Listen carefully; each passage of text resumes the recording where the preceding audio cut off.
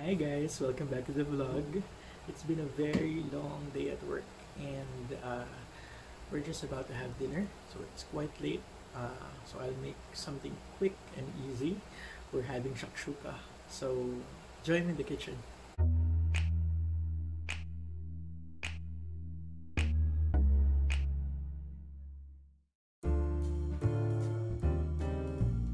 So to make shakshuka, I'll be using tomatoes. So these are the canned peeled tomatoes. Comes with some sauce, some onion, minced garlic, fresh basil, about half a teaspoon of cumin, about one teaspoon of smoked Spanish paprika, three eggs, salt and pepper, and some olive oil.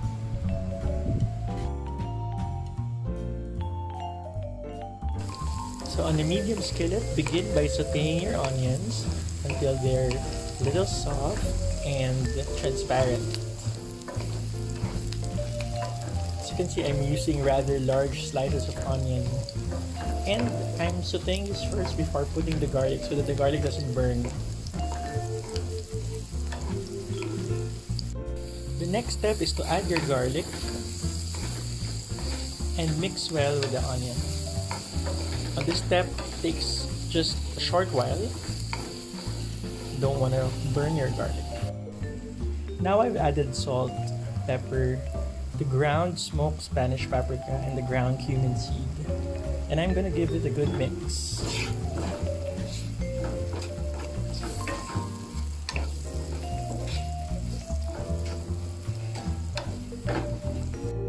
This point, I've added the tomatoes, but not yet all the sauce from the can.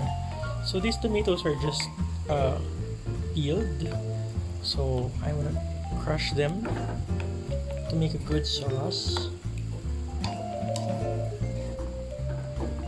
Now later on, if I feel that its uh, consistency is very runny, so you'll have to reduce it. But it's if it's too thick, then add some sauce. But don't throw that sauce away. You might need it later. Alright, so after your mixture has simmered for a while, what you want to do is to create three pits like that. And that's where you put your egg. So I'm gonna put down my camera first because I can't do this with one hand. Voila! So there goes the three eggs. We'll wait for them to cook. Now since I've added some tomatoes and eggs, I season it again with salt and freshly ground pepper. Okay, so after about 2 minutes of simmering, the eggs are already cooked.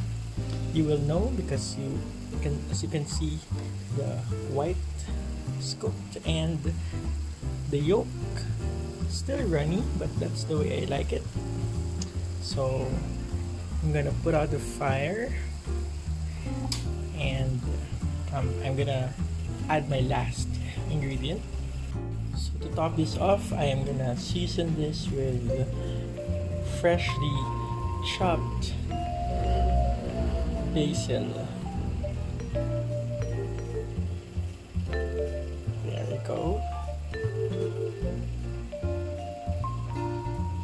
uh-huh hmm looks good to me.